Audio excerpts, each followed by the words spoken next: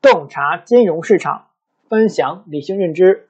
大家好，欢迎来到 Razer 投资说，我是你们的老朋友 Razer。今天我们来讲一下最近爆火的游戏《荒野乱斗》后面到底有哪些投资机会呢？啊，这游戏不仅火，这游戏火了之后，到底我们有什么赚钱的机会呢？啊，我们来聊一聊它背后给我们带来的投资机会。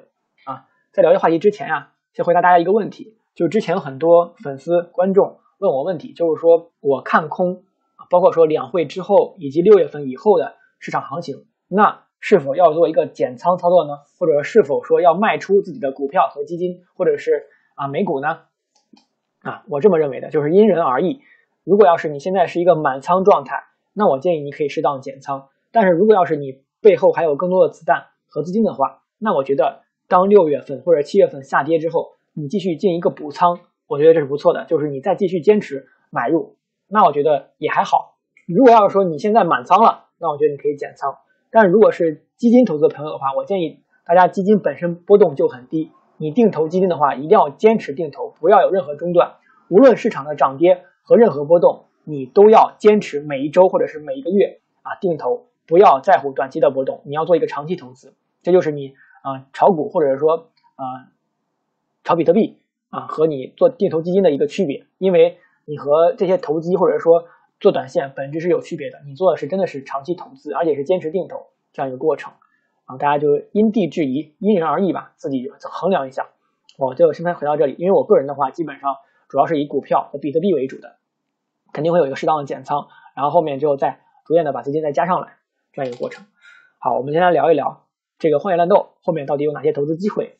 现在能够继续点击订阅我、关注我、给我留言点赞啊！我会继续坚持分享关于投资的干货内容。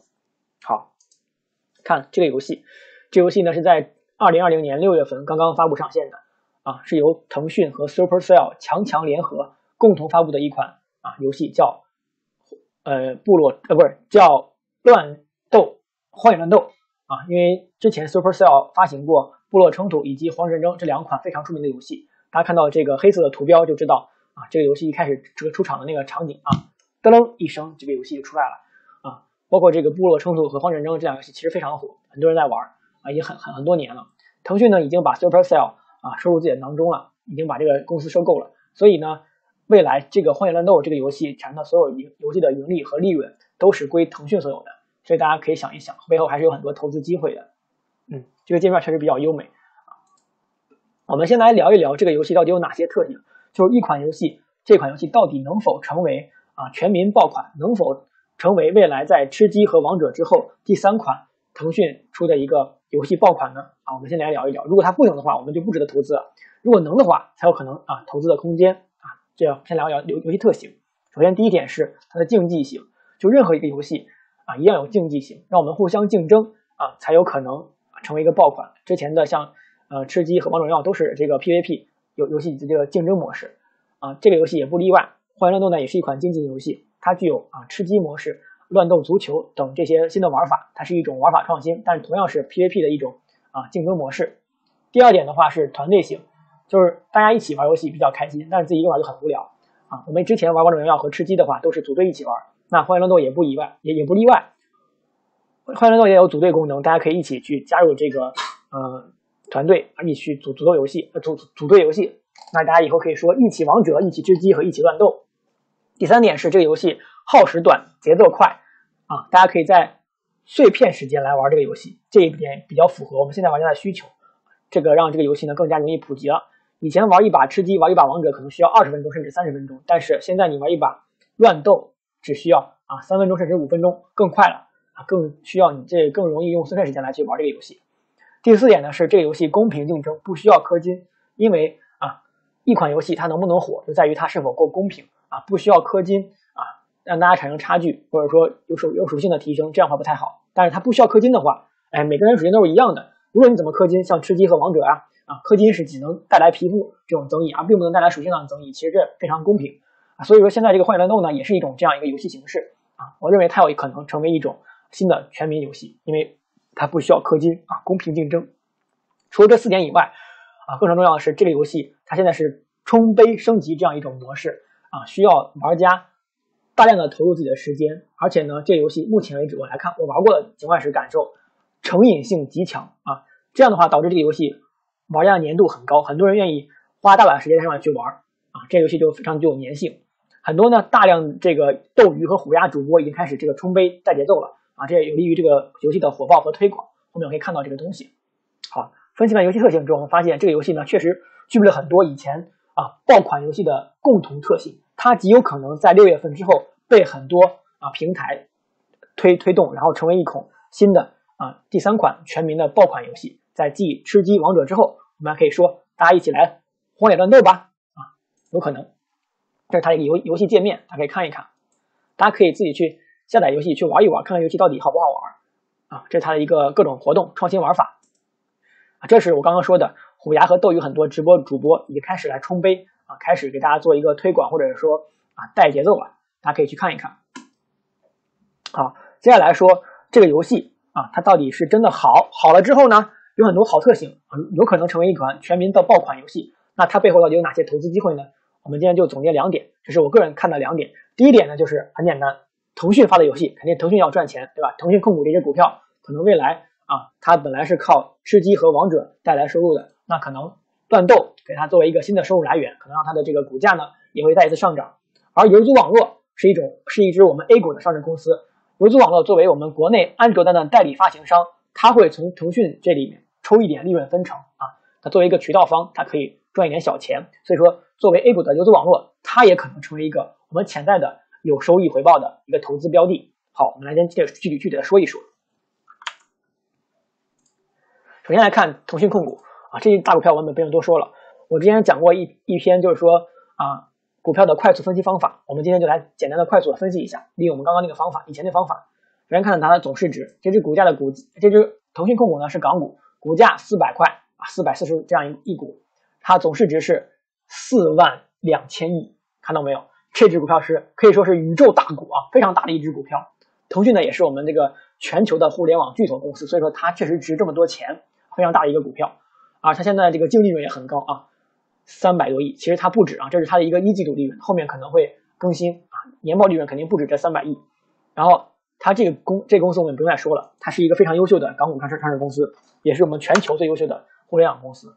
它主要经营业务呢，啊，我们这里也不再多说，因为它确实很多业务，主要就说它靠游戏，靠这个腾讯、微信、QQ 这些来赚钱啊。所以这只股票其实大家心里都明白，是一只非常优秀的股票。也值得我们去啊长期投资、长期买入。所以说，我认为短期来说，啊，荒野斗就算火爆了，对它的股价影响也不是特别大。但是呢，可能会推动它缓慢上涨，或者说成为它一个潜在的很大的利润空间。啊，未来可能随着大势呢，先有波小跌，然后呢再开始徐徐上涨。啊，这里大家可以去看一看这只股票。但是这里今天不作为重点，我们今天重点要说的是游族网络这只 A 股的上市公司，而不是那个腾讯港股。这个公司啊，游族网络。啊，是我们目前来看，它市值比较小，它基本面二十一块七毛八一股，然后呢零零二一七四是深圳的上市公司，它的总市值是一百九十三亿，不到两百亿个市值，不太大，证明它的空间还是有的。它的每天成交额呢大概在十二亿左右，非常的大啊，证明这个比例来看，这个女人的身材非常的好，这个女人整个是值得我们去啊看和投资的。就是我们之前说过嘛，有一期是选股如选女人啊，这个也不再多说啊，除了看看基本面，F 十 F 十之后看看公司资料。游族网这公司是做游戏的啊，很简单。嗯，他现在这公司在上海，就在上海的这个呃漕河泾里面，我记得。然后这个公司看看行业对比，它是什么样一个地位啊？净利润排名第六名，四十一名排第六名，营业收入也排第六，净资产收益率排第九。整体来看呢，这家公司啊排在我们这个 A 股上市公司当中的游戏行业的中上游，还不错，还算可以。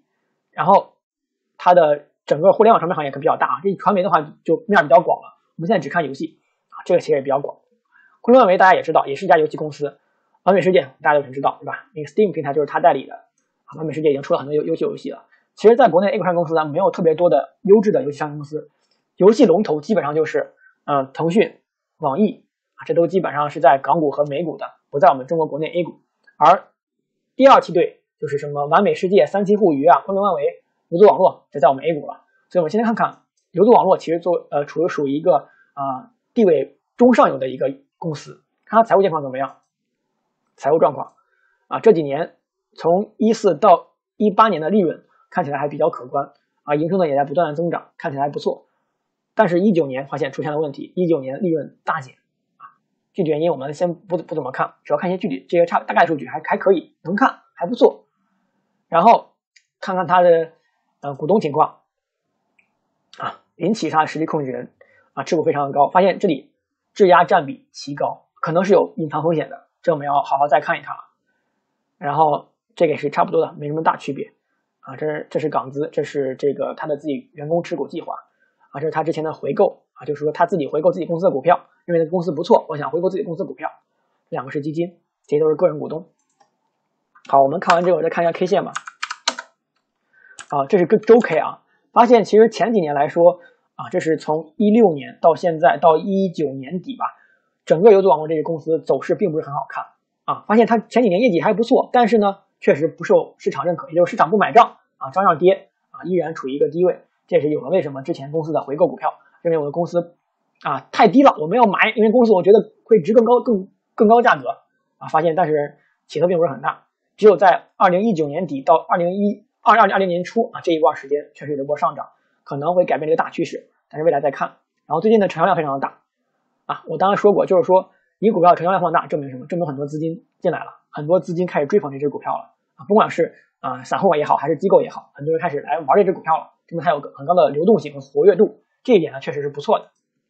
看日 K，啊日 K 的话，之前走势也确实不错，然后现在是横盘阶段，啊成交量确实非常的大。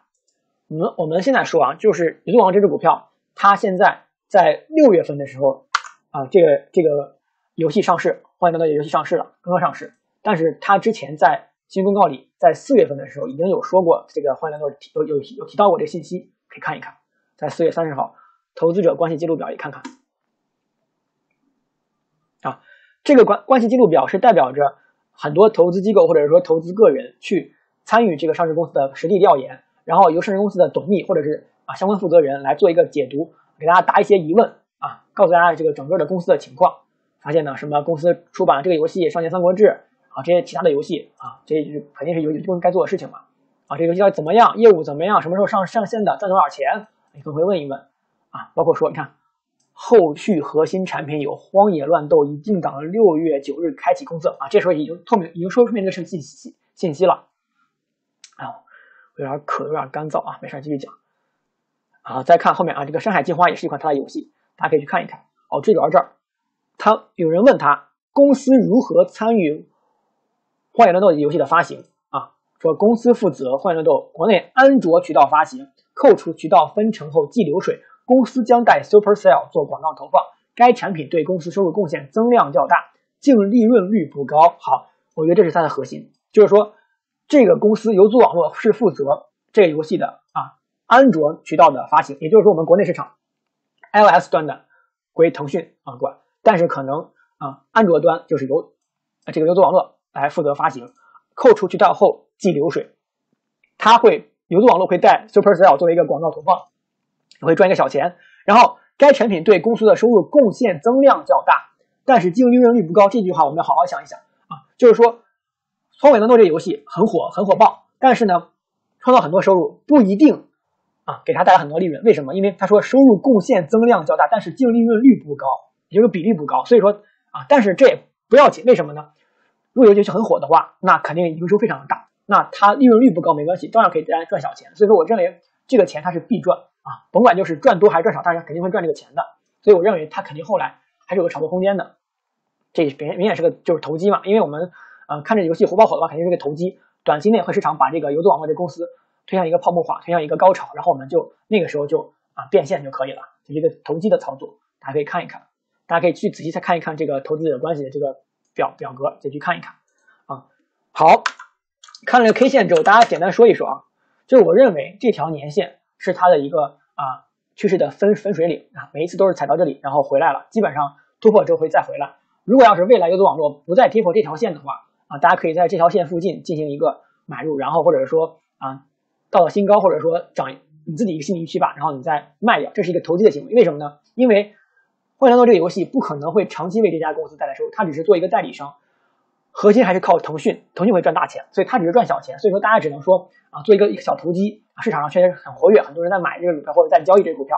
你可以做一个投机，然后等四季度如果股市大涨的话，你可以趁趁这一波抛掉也没问题。我这里呢不做任何投资建议，给大家一个做作为学习参参考之用，大家可以自己去看一看。